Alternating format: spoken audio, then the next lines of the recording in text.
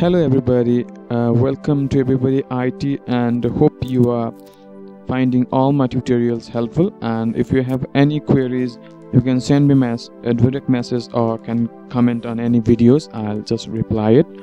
So today we are going to discuss about Google DNS and how Google DNS speeds up your internet. Simply, how to speed up internet using Google DNS uh, is our topic, and Google DNS is actually a public DNS provided by Google to make a web a bit faster. That means it allows you to browse uh, the internet a bit faster, download a bit faster on your current connection using the Google DNS. What all you got to do is just go to your current network adapter settings and change the IPv4 settings and enter the DNS address provided by Google. So this is a tutorial on how to speed up internet using Google DNS and let's get in the tutorial. First of all, go to control panel and go to network and sharing center. I'm using Windows 8 so you can directly search it. Go to network and sharing center. Click on change adapter settings and you will get different adapters that are being used by your computer just you should know which is used to connect to the internet that you want to speed up a bit. This is Wi-Fi 6 and this is the card that I'm using to connect to internet. You should know that. So another way to go here is just directly right click on your connection open network and sharing center and change the adapter settings. It will take you to the window. After that you should know which adapter you are using to connect to internet and after you have known just right click on the adapter and click on properties. A small box will pop up and just go to scroll down a bit and go to internet protocol version 4 tcp ipv4 click on that it's a ticked and click on properties. Do not use do not click on use the following ip or anything just go to use the following dns server addresses.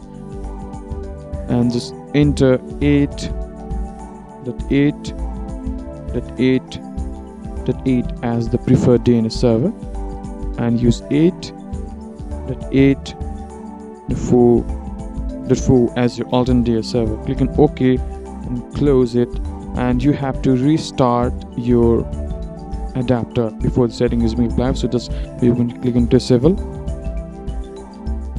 and enable it back you can simply plug off the device and plug in. If it's an external USB device it will be easy to plug out and plug in.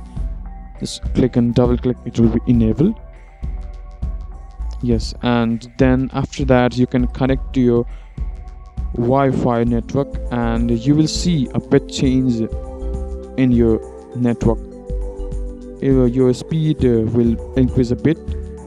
It has increased and worked for me and it should work for you as well uh, just if you you are using a LAN connection I mean if you are using a wired connection like your phone connection to connect to internet you can use go to uh, change the type of settings and click on properties.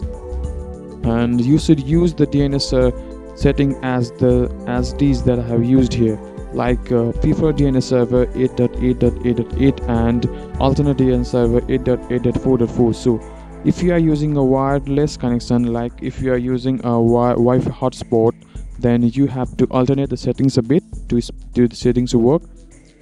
Just click on tcp ip properties and in the preferred dns server you have to enter 8.8.4.4 and in the alternate dns server you have to enter 8.8.8 uh, this uh, has not been mentioned by google but it's from my personal experience. And when i'm using a wired connection when i use alternate dns server as 8.8.4.4 it works quite a bit uh, faster. And while on wireless networks uh, other settings that i've told you works fine. So hope this helps to make your speed internet speed a bit faster. And uh, though the download speed might not be affected as much but uh, your browsing speed should improve a lot. So thank you for viewing and hope this tutorial has helped you.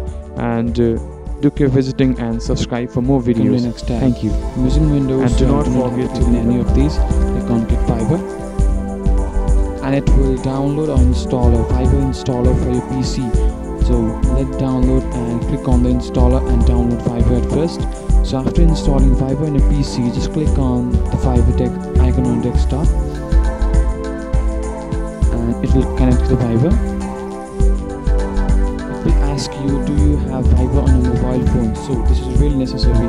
You have to have Viber installed and running on any